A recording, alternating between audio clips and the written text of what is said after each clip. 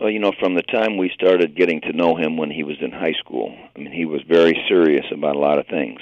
He wanted to be a really good football player, um, but he was very serious about his academics. He was very serious about his future goals to to serve uh, others, and uh, you could just see incrementally throughout his career he crossed every T and dotted every I. You know, I think he'll be the kind of guy. He'll be a great listener.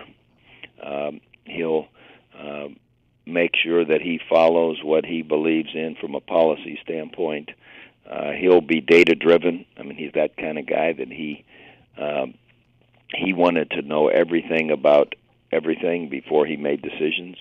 Uh, so I think he'll be very thoughtful, a good good communicator.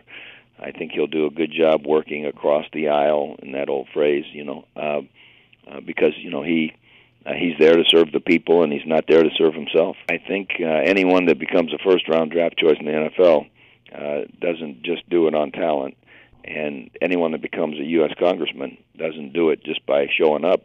Uh, you know the hard work he put into preparing himself for both things. Uh, the hard work he most recently has put in on the campaign trail and uh, getting his message out as to, you know, who he was there for, and he's there for the people, and and uh, he'll be he'll be tireless, and he's just that's his that's his makeup, uh, that's his DNA, and uh, you know he he's got a great story from in terms of his family coming over from Cuba and and all the rest. So, uh, I mean, he truly.